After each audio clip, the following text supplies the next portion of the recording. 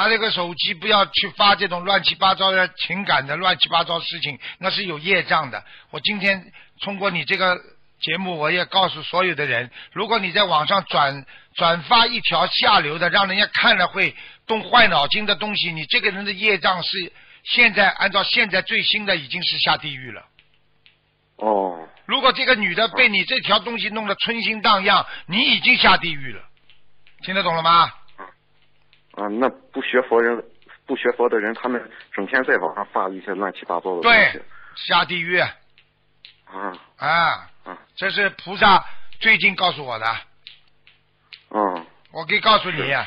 随着新的东西出来，他的地府的法律也新的，和天上天律都在不停的改，就这么简单了。是你想想看，发一个东西让人家想入非非，发一个东西让一个好孩子变成个坏，一个好女人变成个这个这个这个荡妇一样，你想想看，你不是害死人家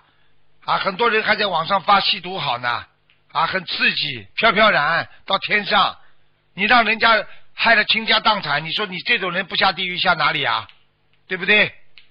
对，啊，而且他们在网上看到这种消息以后，还就是疯狂的转发，让更多人看到。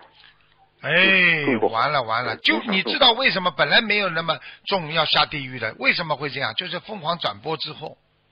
明白了吗？就是他疯狂转、转发了之后，这更多的人看，他的业障更重，